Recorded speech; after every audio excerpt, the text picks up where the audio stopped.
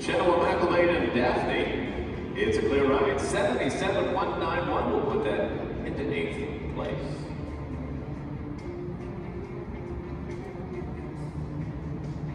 Kingwin Muma with us now. She's got the ride aboard Callaloo.